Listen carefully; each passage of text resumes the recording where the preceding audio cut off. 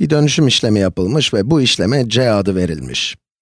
c sonucunda koordinatları eksi 2, 3 olan bir nokta, 4'e eksi 1 noktasına taşınmış.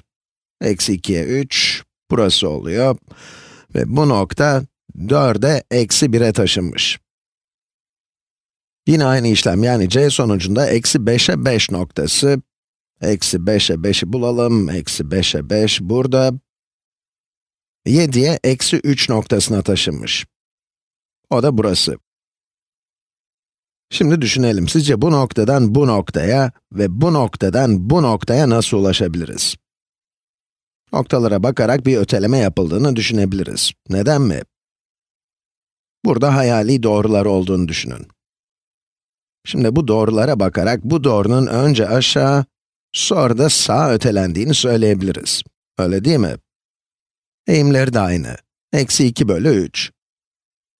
Bu şekilde düşününce bu nokta, bu noktaya, bu noktada buradaki noktaya taşınmış oluyor.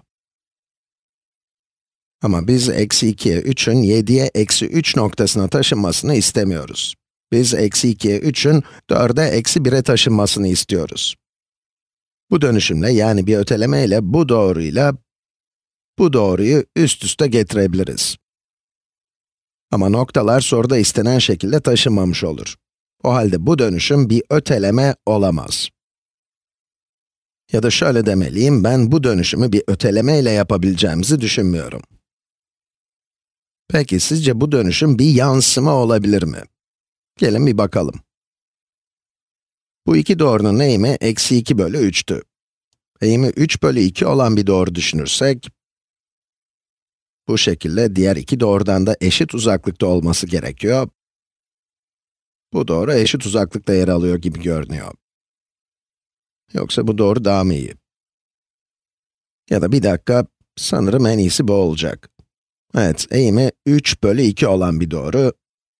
İşte bu doğru tam ortada. Aslında tam ortadan geçen bu doğruyu çizmeye ihtiyacım yok çünkü şu anda bu dönüşümün bir yansıma olup olmadığını anlamaya çalışıyoruz. Diyelim ki yansıma doğrusu bu.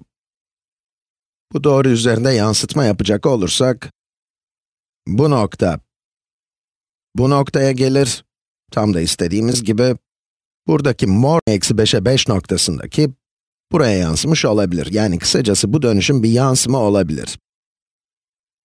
Son olarak döndürme ise bana daha da mantıklı geliyor. Eğer bu nokta etrafında döndürecek olursak, bu nokta, bu noktaya, bu noktada, bu noktaya taşınır. O halde c işlemi aynı zamanda bir döndürme de olabilir. Evet, şimdi sırada d dönüşümü var. 4'e eksi 1'den 7'ye eksi 3'e gidiyoruz. Bunu da aynı renk yapayım. Ve eksi 5'e 5'ten de eksi 2'ye 3'e gidiyoruz. Burada kesinlikle bir öteleme yapıldığını düşünüyorum. Bu nokta sağa doğru 3 ve aşağı doğru 2 hareket ederken, bu noktada aynı şekilde sağa 3 ve aşağı 2 hareket etmiş. Evet, bu kesinlikle bir öteleme olabilir. Peki, bu bir yansıtma olabilir mi? Bu noktadan bu noktaya ulaşmak için bu doğru etrafında bir yansıtma yapıldığını düşünebiliriz ama bu aşağıdaki noktalar için hiçbir şey ifade etmiyor. Çünkü bu noktadan bu noktaya ulaşmak için de bunun etrafında bir yansıtma yapmam gerekir. Bunların ikisinin de ne yazık ki diğerine yararı yok. O halde yansıtma burada gördüğünüz sihirli numarayı yapamıyor.